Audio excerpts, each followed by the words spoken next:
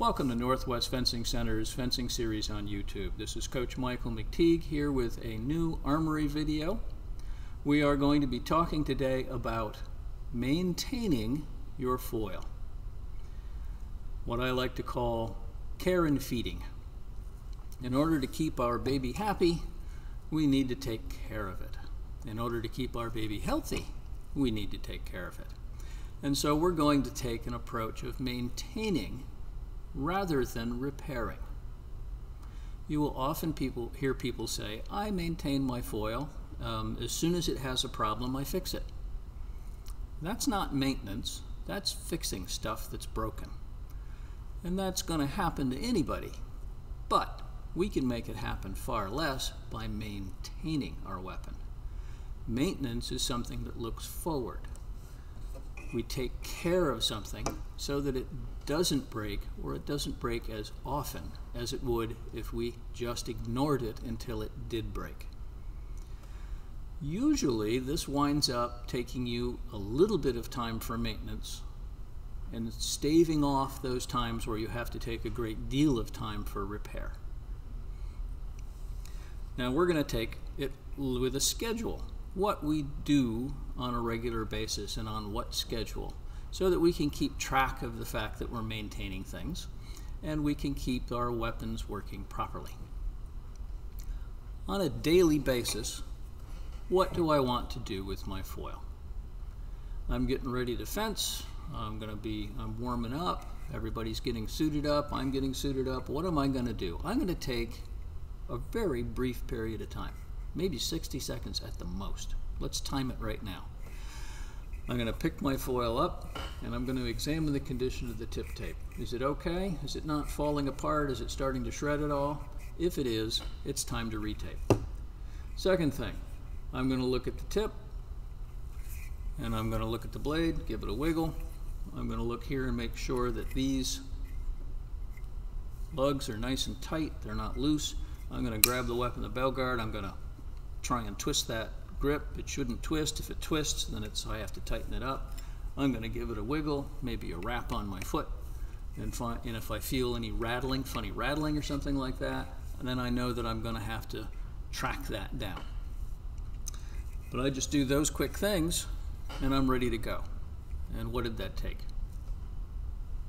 30 seconds, 40 seconds at the most? That's really all we have to do on a, on a weekly basis, a daily basis a visual inspection. Does everything look okay? No popping wires, no falling off tip tape, no big dented bell guards. Things are tight, things are clean, and we're ready to fence. That's all we need to do on a daily basis. Just those few little things.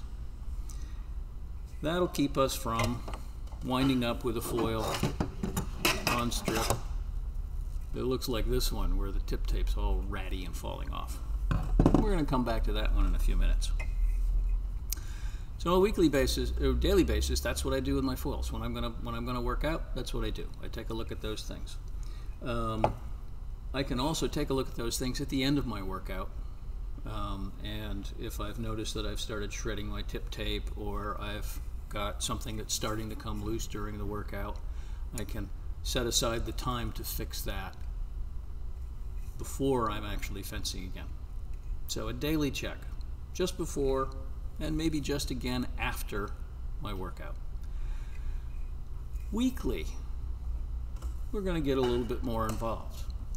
We're going to look at all the things we looked at before. We're going to take a look at everything to make sure that it's clean, tight, tip tape's in good shape, that's all we're going to do. Next, on the weekly tagout, we're going to give it an electrical test. We're going to check through and make sure that this one is really working. So we have our test box. We're going to first check, make sure we're using a good body cord. We're going to use that little trick that we did in the earlier video where we stick that on, we slide it up, and you can see that our light stays on. This particular type of tester, both lights go on and then one light goes out and the other stays steady. Most testers will just have one light and with a foil you clip it on and the light goes on and it stays on. Okay, so and I give it a wiggle and I can see that the light stays on. So I know I've got a good body cord. And I'm going to go ahead and plug that in. Once my body cord is plugged in, I'm going to come back up to the tip and I'm going to spin. I'm going to push the tip down, hold it, and you can see that the light goes out. So, okay, I let go of it, the light comes back on. I push it down, the light goes out.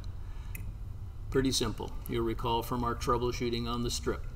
The circuit is completed, we push the button, the circuit is broken, the light goes out. Excellent. So, I've established that that's working properly. Next thing I'm going to do is I'm going to grab the tip and I'm going to rotate it. I'm going to rotate the tip inside the barrel. Just spin it around a little bit. Again, what I'm looking for is nothing, essentially. I don't want to see this light flicker at all. I'm not pushing on the tip at all. I'm leaving it in its unpushed condition there. I'm just rotating it around. Once I've done that, uh, and if I do that and it's and it's flickering, I know I have a problem inside the tip. It's either the spring is is cockeyed, maybe the tip itself, which is made up of several little pieces, uh, the, the point that's inside there, maybe that's got a problem. Um, it may also be indicating that where the wire attaches to the mushroom on the inside of the tip, that that's come apart and I have a, a rewire that I need to do. Um, but it's indicating that there's a problem sometime, somewhere in here and I have to dig in further to take a look at that. Or if that's not my thing, I know that I need to put this in the armory for my club armorer to work on. Um, and that means that that'll be worked on and ready for me instead of failing on a strip. so once I've done that, the next thing I'm going to do is I'm going to take the blade and I'm going to bend it like I made a good solid hit. I'm not pushing on the tip, I'm just bending it. And again, I'm looking for the same thing. If I'm getting a flickering light here, or it goes out when I bend it, and it comes back on when it's straight, or it flickers at all when I do this, I probably have a broken wire somewhere. And I'm going to need to have the weapon rewired, or rewire it myself if that's my thing.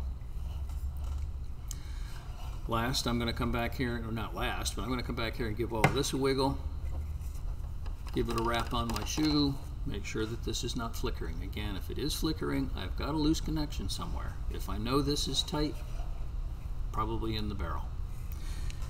Last, I'm going to take my weight, I'm going to place it on, I'm going to push it down, make sure the light's out, I'm going to let go, make sure the light comes back on. Obviously a referee just comes along and lightly puts this on and the light stays on. Every, or in the case of uh, on strip, there's no light at all. Everything's fine. Um, but I like to push it down and let go and make sure the spring really is pushing it back up. That tiny extra couple of grams of force is not going to make a difference between not getting a touch and getting a touch, but it is going to make a difference between getting a yellow card and not getting a yellow card. I want to make sure it really passes. So this foil passes with flying colors. I've looked it all over. I've checked the tip, worked properly. There's no random lights going uh, off when I'm testing. Everything seems to be in ship shape. It's all nice and tight. It's ready to go. I can put this one in my bag, back in my locker, wherever I happen to be storing it, and everything's fine. I'm all set. So, This is the daily, right?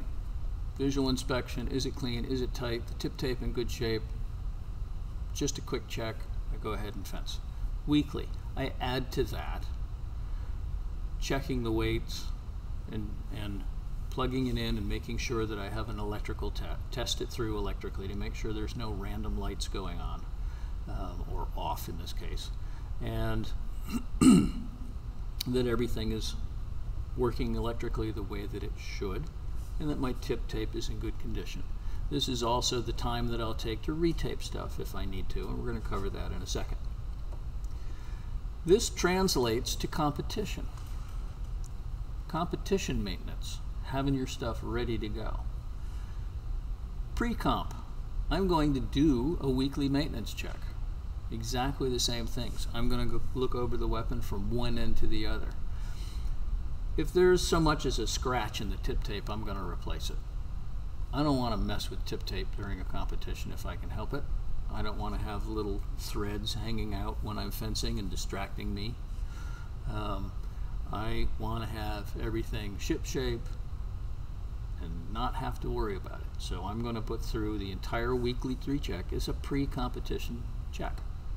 I'm going to do that exact same check between pools and DEs.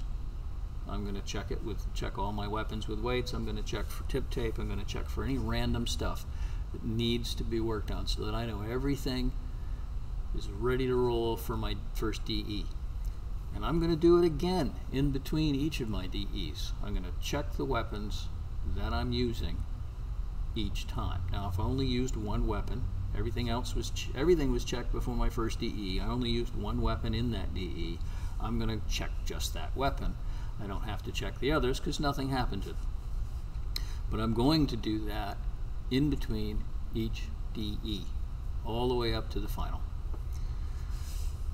Now, after each bout, you essentially do a daily inspection.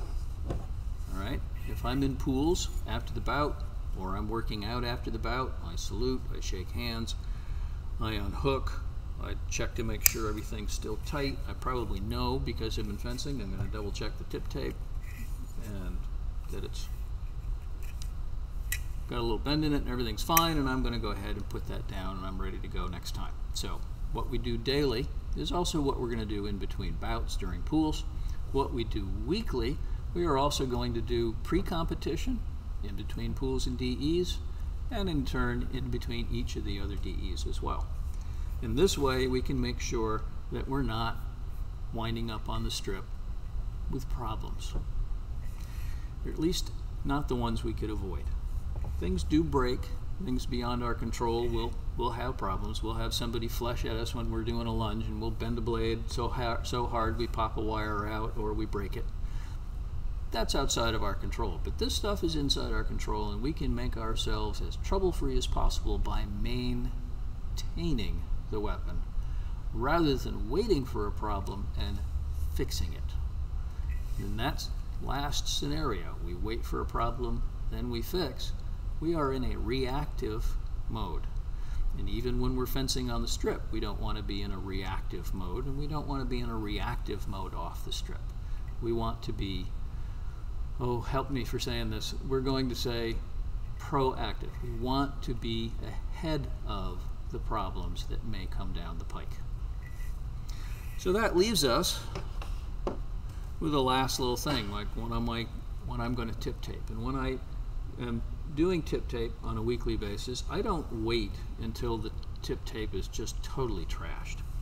This is uh, one that I found here in the club, and you can see that the tip tape on this is just a mess. I mean, it's coming off everywhere. It's ripping and shredding. It's nearly falling off on the tip. This is a weapon that somebody's going to come to me and they're going to say, I, I hit them and it didn't go off. Something's wrong with the tip.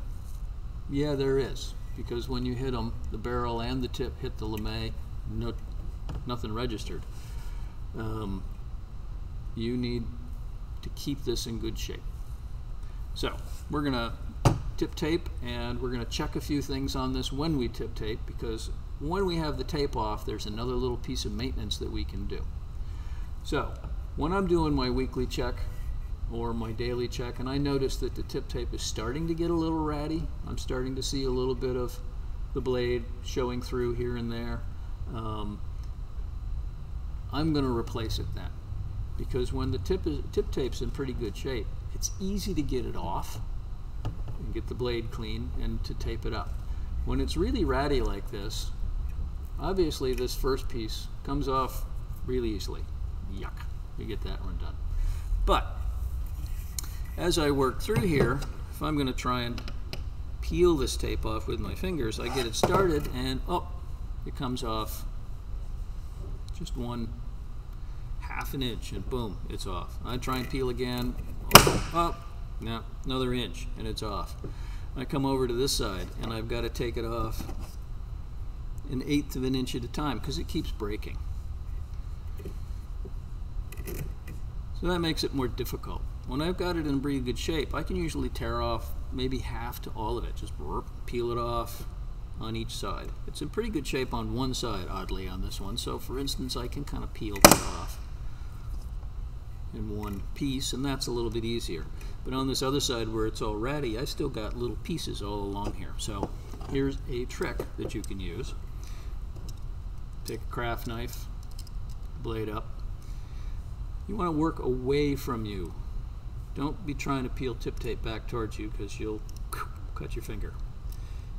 You can just scrape along the blade and peel that loose stuff up. Make sure that it's all clean. And you can do the same on the barrel. Now this tip tape on the barrel is falling off, but there's a lot of leftover adhesive on here. And I'm going to just scrape that leftover adhesive off. If I have um, a rag and a little bit of um, alcohol, I can also maybe wipe that down, clean. But we're doing pretty well right there. All right, so what other maintenance things do I want to do now that I can actually see the tip and barrel of my weapon? The first thing I'm going to do is I'm going to check the tip screws and see how they look. And in this case, the tip screws, are in pretty good shape. But tip screws take a real beating in the foils. They stick out just a little bit as you're beating and parrying and hitting bell, bell guards and stuff, they get beat up a lot about. And the little slot that we want to put our tip screwdriver into gets beat up to the point where sometimes you can't get the tip screwdriver in it anymore. And you have to get some pro help to get that screw out of there. So how can I avoid that? Or at least try to avoid it? Well, I can take a look and I can see that as I'm getting ready to tape that maybe one of the screws is a little bit beat up, but I can actually get my screwdriver still in it. So, the way most people will try and do this is they will hold their foil like this and they'll put the screwdriver here and they'll push into the slot to try and unscrew the weapon, the, the screw in the tip.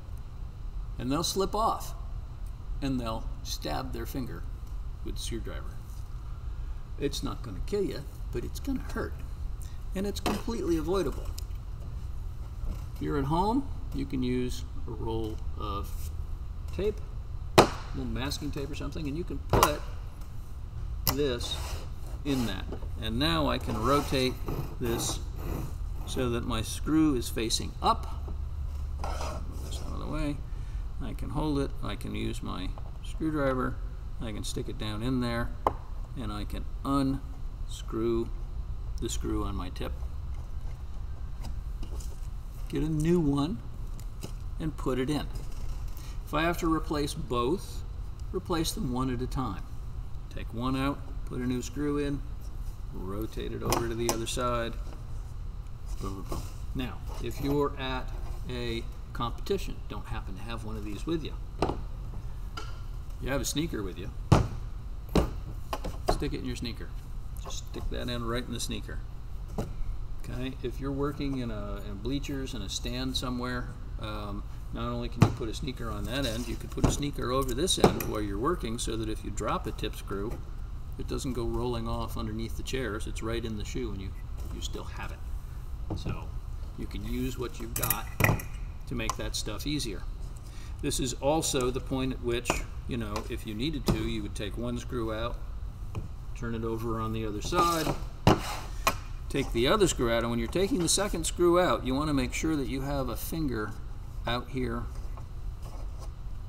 on the end so that when I get the last screw out, the tip doesn't go across the room. I can take that out and that's when I can put a new spring in. If I have been failing my weights, that's when I can do that. Put that in at that point. So I want to make sure that my tip screws are in good shape. I'm going to loosen them a little like a quarter turn and tighten them back up. They should be tightened reasonably firmly, but they're tiny little screws. If you go really hard on it, you will strip that head out, and then you're going to need help getting it out. And I'm going to flip to the other side. The screw is in good shape on this side, but I'm going to check it, tighten it back up, make sure it's in good shape. So, now I know everything's ready to roll, and I can put tape on it. Now tape comes Tip tape comes in all kinds of colors and it comes in two different widths. You'll find a narrower width. There you go, you can see that. I have a narrower width and a thicker width.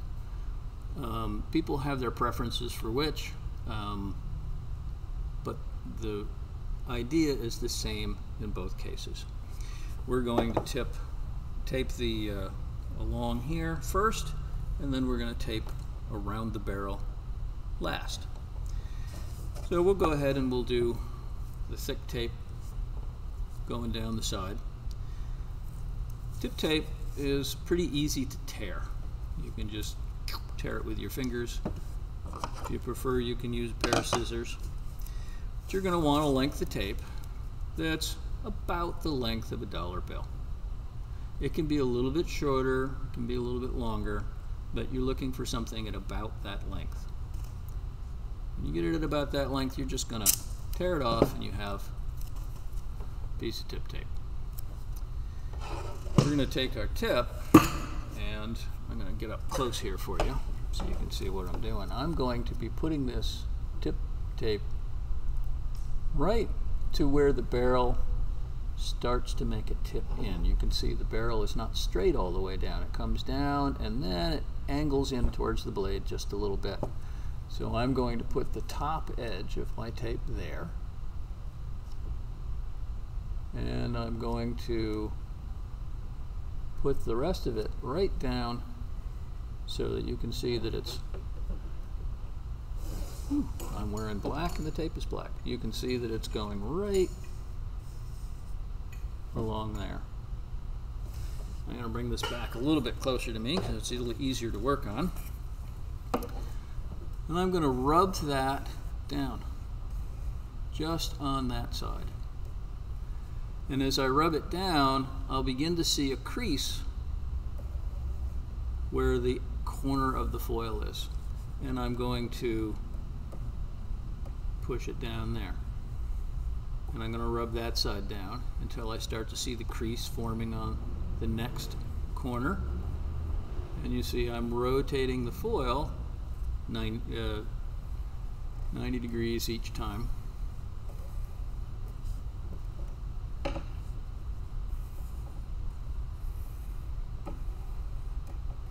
I'm not just trying to wrap the whole thing at once. I'm rubbing the length of that side and I see the crease start and I simply push the rest of the way.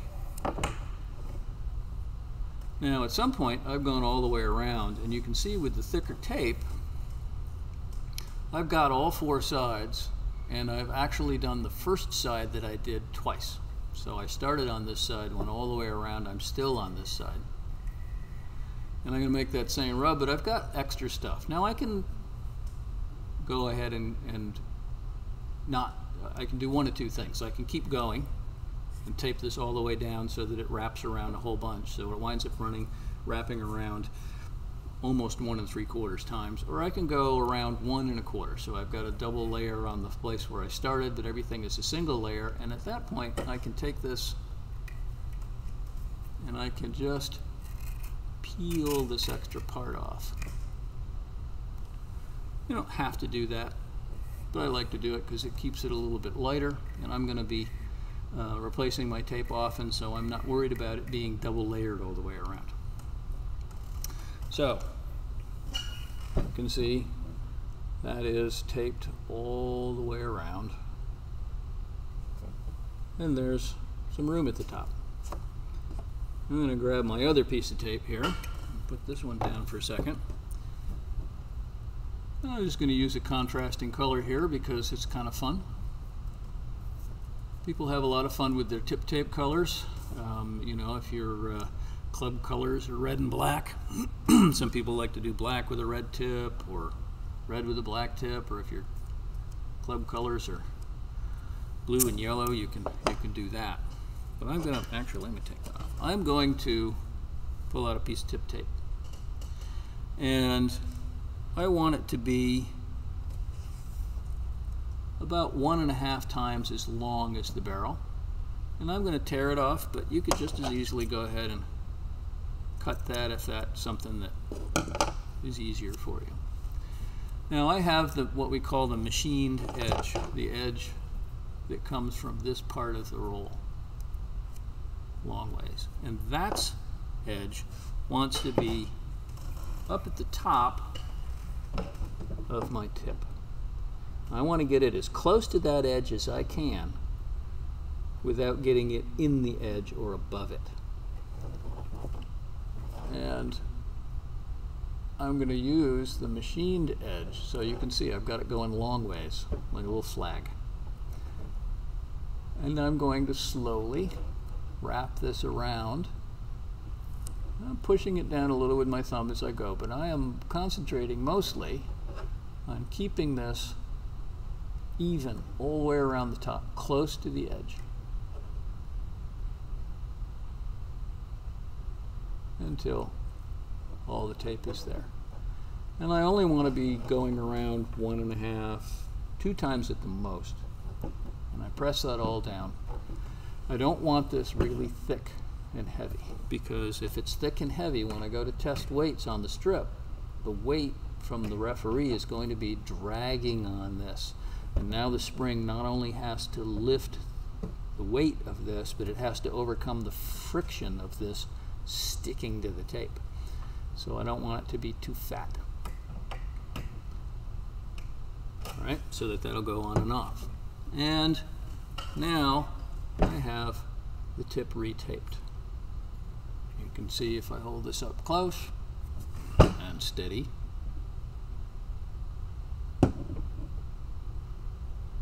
that that is very close to the edge all the way around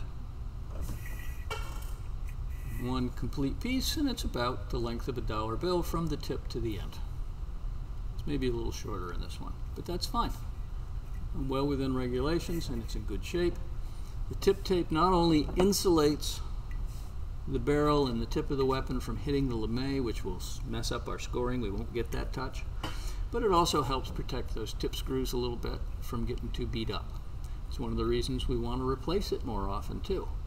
I don't want to wait until it's the shredded mess that we took off of here before because that's much more likely to leave me with tip screws that are so beat up that I can't get them out. If I can't get them out and my club armorer can't get them out, then the only thing I can do at that point is unscrew the barrel, rewire the weapon, and put a new tip on. So I'm going to avoid that expense and that pain by redoing my tip tape more often. So that's pretty much it. We're going to maintain our weapons. Daily with a quick check, weekly with a more thorough check and a retaping if they need it. We're going to repeat those things pre-competition, between pools and DEs, and between DEs. And after every bout, during practice or at a competition, we give it a quick look over to see that everything's tight and in good shape and that nothing has happened to it during that, that particular bout to cause a problem later on. That way we maintain, we take responsibility and look forward to do things properly rather than having things break and being in a reactive frame of mind and having to react to those breakages. And that's pretty much it. Keeps going back to what I keep saying on Armory. Control what you can control, and you'll have fewer worries. And that's it for today. Have fun taking care of your foil. This is a great time now to practice doing some of this stuff. Order up some tip tape online, practice taping your blade.